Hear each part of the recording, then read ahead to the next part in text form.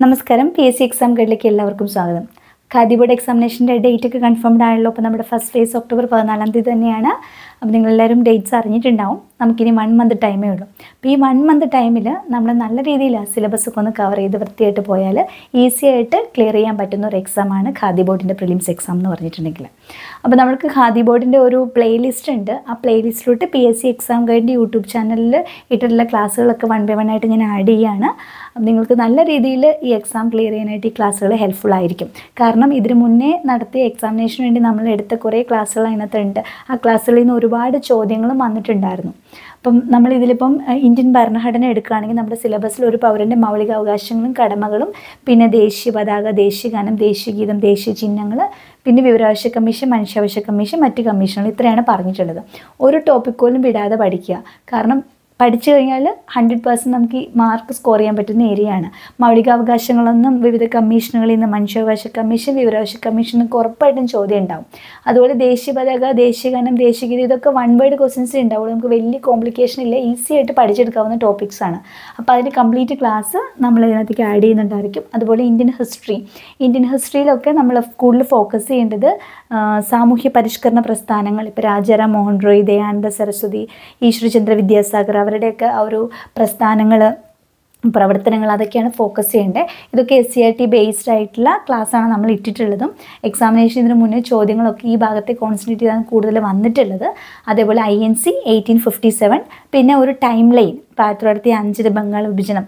പിന്നെ നമ്മുടെ മുസ്ലിം ലീഗ് സൂറജ് പെട്ട് അങ്ങനെ പോയിട്ട് ആയിരത്തി തൊള്ളായിരത്തി പത്തൊമ്പത് ജാലിയൻ വാലാബാഗ് പിന്നെ നമ്മുടെ നിസ്സാരണ പ്രസ്ഥാനം പിന്നെ ഉപ്പ് സത്യാഗ്രഹം ക്വിറ്റ് ഇന്ത്യ സമരം അങ്ങനെയുള്ള ഒരു ടൈം ലൈൻ ഉണ്ടല്ലോ പ്രധാനപ്പെട്ട ഇവന്റ്സ് നടക്കുന്ന കാര്യങ്ങൾ വട്ടമേശ സമ്മേളനങ്ങൾ. അപ്പോൾ ആ ഒരു ടൈം ലൈൻ കാര്യങ്ങൾ കൃത്യമായിട്ട് അറിഞ്ഞിരിക്കുക. പിന്നെ ഐ എൻ സിയുടെ വിവിധ മീറ്റിങ്ങുകൾ ഇമ്പോർട്ടന്റ് ആയിട്ടുള്ള സമ്മേളനങ്ങൾ ഐ ഇമ്പോർട്ടന്റ് ആയിട്ടുള്ള മീറ്റിംഗ് മീറ്റിങ്ങുകളിൽ സമ്മേളനങ്ങളിൽ അധ്യക്ഷത വഹിച്ചത് ആര്? അങ്ങനെയുള്ള കാര്യങ്ങളൊക്കെ കൃത്യമായിട്ട് മനസ്സിലാക്കുക. അപ്പോൾ നമ്മളൊരു ഫിഫ്റ്റീൻ ഡേയ്സിന്റെ റിവിഷൻ സീരീസ് എന്ന് പറഞ്ഞിട്ട് കുറച്ച് ക്ലാസ്സുകൾ ഇട്ടിട്ടുണ്ടായിരുന്നു മുൻപ്. അതിൽ നിന്ന് ഒരുപാട് ചോദ്യങ്ങളും ചോദിച്ചിരുന്നു. അപ്പോൾ അതും ഞാൻ ഇങ്ങോട്ടേക്ക് ആഡ് ചെയ്യാം. അതൊരു വൺ അവർക്ക് ലെങ്ത് വരുന്ന ക്ലാസ്സാണ് ഇപ്പോൾ ഇന്ത്യ ഹിസ്റ്ററിയുടെ ആ ഒരു റിവിഷൻ സീരീസിന്റെ ക്ലാസ് നോക്കുകയാണെങ്കിൽ കംപ്ലീറ്റ് ഹിസ്റ്ററി ഫസ്റ്റ് തൊട്ട് എൻഡ് വരെ ആ ഒറ്റ ക്ലാസ്സിൽ നിങ്ങൾക്ക് പഠിക്കാം. അതായത് റിവിഷൻ ചെയ്ത് റിവിഷൻ ചെയ്ത് പോവുകയാണ് അപ്പോൾ ഓൾറെഡി കുറച്ച് പഠിച്ചിട്ടുള്ളവർക്ക് ആ ഒരു ക്ലാസ്സിൽ തന്നെ ഒരുപാട് ഇൻഫർമേഷൻ കിട്ടും.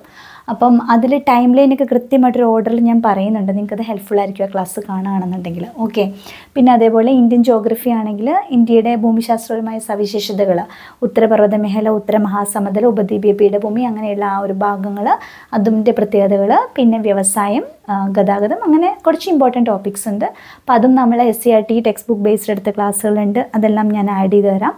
പിന്നെ വന്നിട്ട് science science physics chemistry biology ഇതിന്റെയൊക്കെ റിവിഷൻ സീരീസ് ഫിഫ്റ്റീൻ ഡേയ്സിന്റെ റിവിഷൻ സീരീസിൽ എന്റെ ഒരു സിലബസിലുള്ള കാര്യങ്ങൾ ഞാൻ ഇൻക്ലൂഡ് ചെയ്തിട്ടുണ്ട്. അപ്പോൾ അതിൽ നിന്നൊക്കെ ഒരുപാട് ചോദ്യങ്ങൾ ചോദിച്ചിട്ടുണ്ടായിരുന്നു കേട്ടോ മുൻ വർഷ എക്സാമിനേഷൻസിനൊക്കെ അപ്പോൾ അതുകൊണ്ട് അത് സയൻസിന്റെ ക്ലാസ്സുകളും കാണുക റിവിഷൻ സീരീസും കാണുക. പിന്നെ വന്നിട്ട് നമ്മുടെ മാത്സിലാണെങ്കിൽ നമ്മുടെ train problems time and distance പിന്നെ നമ്പർ സിസ്റ്റം ഫ്രാക്ഷൻസ് ആവറേജ് പിന്നെ clock calendar blood relation direction sense നമ്മൾ എടുത്തിട്ടുള്ള ക്ലാസ്സുകളൊക്കെ പ്ലേലിസ്റ്റിൽ ആഡ് ചെയ്ത് തരാം.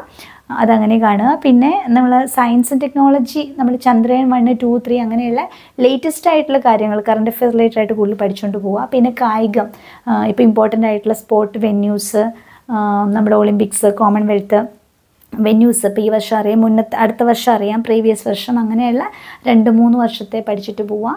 പിന്നെ ചലച്ചിത്ര പുരസ്കാരങ്ങൾ അതേപോലെ സാഹിത്യ പുരസ്കാരങ്ങൾ അങ്ങനെ സെലക്ട് ചെയ്തിട്ട് നിങ്ങൾ കറണ്ട് അഫയേഴ്സും പഠിക്കാം. ഓക്കെ അപ്പോൾ ഇതിന്റെ അകത്തുനിന്ന് നിങ്ങൾക്ക് ഈ ഒരു പ്ലേലിസ്റ്റിൽ ഞാൻ ഇടുന്ന എല്ലാ ക്ലാസ്സുകളും കണ്ടിട്ട് നിങ്ങൾ പോയാൽ ഉറപ്പായിട്ടും പ്രിലിംസ് ക്ലിയർ ചെയ്യാനുള്ള മാർക്ക് നിങ്ങൾക്ക് അവിടുന്ന് കിട്ടും. ഓക്കെ അതിന്റെ കൂടെ ഒരു ഫിഫ്റ്റീൻ ഡേയ്സിന്റെ റിവിഷൻ സീരീസ് എന്ന് പറഞ്ഞിട്ട് ഞാൻ ഇടുന്ന ആ ക്ലാസ്സിലും കൂടെ കാണണം. അപ്പോൾ നിങ്ങൾക്ക് ഇനി ഒരു മാസം സമയമുണ്ട്. ആ ഒരു മാസം നല്ല രീതിയിൽ പ്രയോജനപ്പെടുത്താൻ. ഇപ്പോൾ ഒട്ടും കോൺഫിഡൻസ് ഇല്ലാതെ ആദ്യമായിട്ട് വരുന്നവരൊക്കെ ആണെങ്കിൽ ഉറപ്പായിട്ട് ഈ ഒരു മാസം നിങ്ങൾ ഈ പറഞ്ഞ ക്ലാസ്സിലെല്ലാം കണ്ടു കഴിഞ്ഞാൽ തന്നെ നിങ്ങൾക്ക് ഉറപ്പായിട്ടും പ്രിലിംസ് ക്ലിയർ ചെയ്യാനുള്ള മാർക്ക് കിട്ടും. ജസ്റ്റ് കാണാമെന്നല്ല കണ്ടു പഠിച്ചിട്ടുണ്ടെങ്കിൽ ഓക്കെ അപ്പോൾ നിങ്ങൾക്കത് ഹെൽപ്ഫുൾ ആവട്ടെ എന്ന് എഴുതിയിട്ടാണ് പ്ലേലിസ്റ്റ് ഇപ്പോൾ നമ്മൾ ഈ ക്ലാസ്സുകളെല്ലാം ഈ പ്ലേലിസ്റ്റോട്ട് ആഡ് ചെയ്യുന്നത്. അപ്പോൾ എല്ലാവരും കാണുക പ്രയോജനപ്പെടുത്തുക. എല്ലാവർക്കും വിജയാശംസകൾ. ഓക്കെ അപ്പോൾ നിങ്ങൾക്ക് നമ്മുടെ ക്ലാസ്സുകളൊക്കെ ഇഷ്ടപ്പെടുന്നുണ്ടെങ്കിൽ തീർച്ചയായിട്ടും ലൈക്ക് ചെയ്യുക ഷെയർ ചെയ്യുക നിങ്ങളുടെ സജഷൻസ് കമൻസ് ഒക്കെ അറിയിക്കുക. സബ്സ്ക്രൈബ് ചെയ്യാതെ സബ്സ്ക്രൈബ് ചെയ്യുക ബട്ടൺ ക്ലിക്ക് ചെയ്യുക. നമുക്ക് വീണ്ടും കാണാം. അതുവരേക്കും ബൈ